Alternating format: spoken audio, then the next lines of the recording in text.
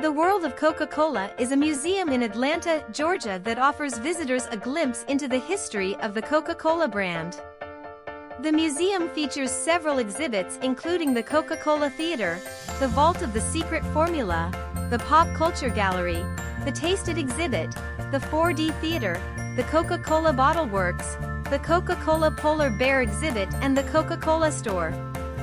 Visitors can watch a film, see artifacts and memorabilia, taste 100 plus Coca-Cola products from around the world, experience a multi-sensory show, watch a live bottling demonstration, take photos with the iconic Coca-Cola polar bear and purchase souvenirs and apparel. The museum also offers guided tours and special events throughout the year. Planning to visit the world of Coca-Cola? Book with us now.